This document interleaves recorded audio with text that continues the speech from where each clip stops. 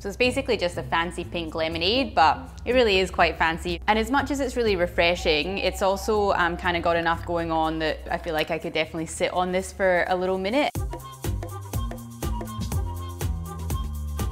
Do you ever feel like you just need a break from alcohol? Don't get me wrong, I absolutely love the stuff, but every good relationship needs a bit of space every now and again. In this episode, I'm going to show you how to make three really easy but really delicious non-alcoholic cocktails. Just because you're not drinking doesn't mean you have to relegate yourself to the kids' table and only drink uninspiring soft drinks. You can absolutely still have drinks which are really complex and interesting. I'll be using some of the easy peasy homemade ingredients that I showed you how to make in my episode on syrups and so on, which you can find here if you missed it. But if you don't have time to make them ahead or you just can't be bothered, then I'll be giving you some simple substitutions to get a similar flavor profile as well.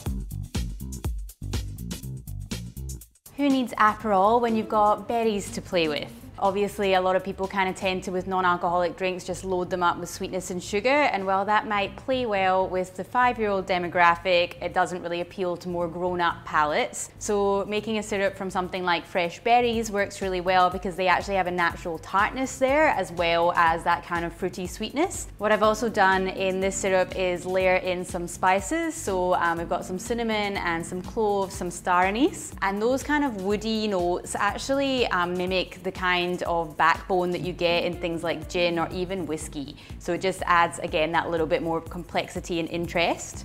Now, if you don't have time to make this syrup, then um, what you can do is just muddle some fresh raspberries, strawberries, whatever you have there into some sugar syrup.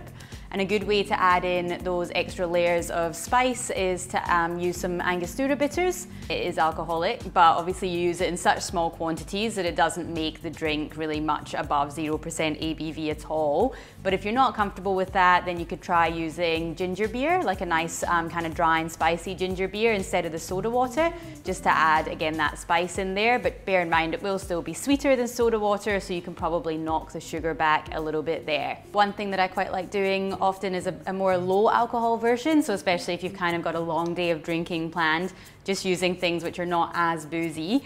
Um, so you can spike this with something like some uh, vermouth or some sherry, and they both work really well and are much less boozy than using spirits in there. As for the garnish, I'm always a massive advocate for using fresh herbs, especially something like this drink which doesn't really have heaps going on on the nose without that. Um, so I'm using thyme because it works well with the woody spices that I've got in the syrup. But you could obviously use something like mint or sage uh, would also be um, really lovely and aromatic in there too. First, we're gonna get our garnish ready. So I'm just gonna slice up a little strawberry because that's what I happen to have. Then we're gonna grab our nice frosty glass out of the freezer. And then super simple, just 30 mils of fresh lemon juice and 30 mils of your berry syrup. And then we're just gonna go about 90 mils or so of soda water. Give that a little stir. And then we're gonna add a couple of little slices of strawberry in there because we want them to be suspended through the drink. So we'll add a little few in before some ice and then a little bit more after that. So get a little sprig of thyme and pop that in nice and neatly as a little bunch. And then we'll just put our straw in right beside that so you'll get all that lovely aroma when you're drinking. And there we have your summer berry spritz. So the timing of this episode is not necessarily a coincidence. Um, here in Australia, I'm not sure if it's worldwide, there's a thing called Dry July, um, and it's basically kind of a, a, charitable endeavor where people will pledge to give up alcohol for the month, um, and then also people kind of sponsor them, donate to charity. So if it is something like you feel like you're needing a little bit of a break anyway, um, and that sounds like something you'd like to get involved in, then we have dropped a link to that below. Homemade iced tea is such a good grown-up non-alcoholic option and that's because of something called tannins. Um, so that's what gives, uh, wine is kind of the most obvious one, um, but also things like aged spirits, so whiskey and things. Um, it gives it that kind of slightly drying feeling that you get in your mouth, um, which provides a lot of structure and tea has that as well. So that's why I really enjoy using tea to just bring that in when I'm playing with drinks without alcohol. Another way of doing it is actually just to soak some tea leaves in sugar syrup for sort of a day or two, um, and that way it infuses and leaches all of that out. But then all you'd have to do is add a little bit of lemon juice and some soda water and that's a really easy kind of lazy iced tea that you can just have in the fridge for whenever. Today we're actually going to be using sort of fresh brewed tea and then the oleosaccharum that I made in our syrups video. Uh, it literally means oil sugar and that's when you just pop some granulated sugar on top of uh, citrus zest or citrus skins and it leaches out all the oils and gets really kind of perfumed if you don't have that, then don't stress. You can just use regular sugar syrup, but you will want to add a little bit of citrus juice in there as well, just a squeeze or two of lemon. And as for the tea, I'm going for Earl Grey because I like that it's quite perfumed and lifted. Um, and again, just think it works really nicely here uh, to give kind of quite a, a delicate sort of flavor. Uh, but of course, if you kind of prefer something a bit ballsier than just your regular English breakfast, or um, you could even try it with something like chamomile uh, if you want to keep it decaf and and alcohol free. So I'm just gonna give a nice grapefruit twist on this one. Then we're gonna go about 100 mils of tea.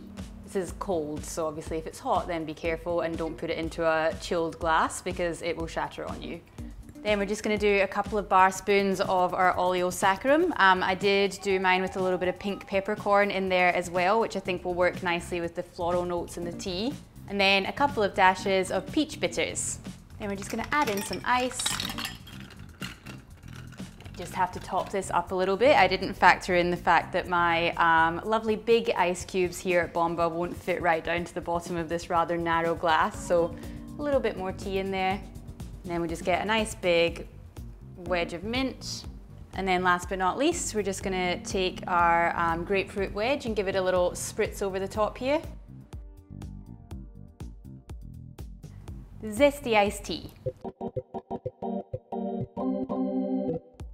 And while I'm just sipping on my iced tea here, I'd like to take a moment to thank um, some people who have just joined up to our Patreon. Thank you very much to Jason, Drew, Chris, Boss, and also to Fabiola for upgrading. Cheers to you guys. So next up we have the pineapple punch and before I get any pedants in the comments, I know it's not technically a punch, um, but I couldn't really resist the alliteration when I was writing this script. The star of the show here is our pineapple shrub. So a shrub has both uh, sugar added to the fruit, but also vinegar. So you've got that acid component in there. And we took it another level and added in some ginger and allspice as well. If you don't have time to do that, um, then what you would just want to do is break it down into the individual components. So I would just use sort of 60 mils of pineapple juice and then do um, 15 mils of lime juice and then 15 mils of sugar syrup. The other thing that I do really like using in non-alcoholic drinks is grapefruit juice. It's got that real kind of pithy, um, tart edge to it, which again provides a bit of sort of driving structure um, and just makes things a little bit more interesting than uh, some other fruit juices I tend to find. This drink we are gonna shake as well, uh, and that just adds in a little bit of texture um, and kind of more interesting mouthfeel. Now, not to be the devil on your shoulder, but this is also delicious if you want to spike it with some tequila or rum. Uh, so for this one, it's kind of however you feel. It's meant to be sort of tropical holiday vibes. Uh, so I'm gonna do a nice big grapefruit wedge and then we'll use some pineapple fronds as well for the garnish. Then into our shaker tin, we're gonna go with 90 mils of pineapple shrub. Then we'll go 90 mils of grapefruit juice. I tend to like to be quite sort of generous with portion sizes for non-alcoholic uh, drinks so that you don't maybe feel like you have to kind of keep purchasing them if you want to hang out with your friends. You can kind of get one and sit on it for a little minute. Just gonna pop a couple of little cubes at the bottom here. Pop your tins together, make sure they're nice and straight so they seal, and then shake as hard as you can.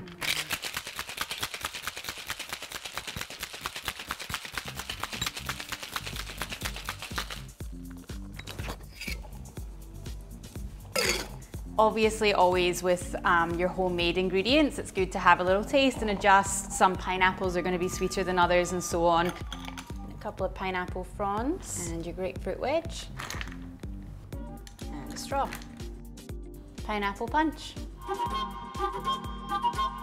So there you have three different but most importantly delicious and interesting non-alcoholic cocktails. Now of course it does really help to have a little bit of time um, to prepare some homemade ingredients in advance because that way you can layer in those other kind of spices and other flavors which really help to just elevate it past your sort of run-of-the-mill um, non-alcoholic drink. If you don't reckon that you'll have time to do that, then I would recommend investing in a good quality syrup like orgeat or falernum, um, something kind of as close to homemade as you can find in the shops. And that way you'll be able to have some other spices and fun flavors coming in there, but then just be able to throw together something delicious whenever you feel like it. Three delicious non-alcoholic drinks. So now you know.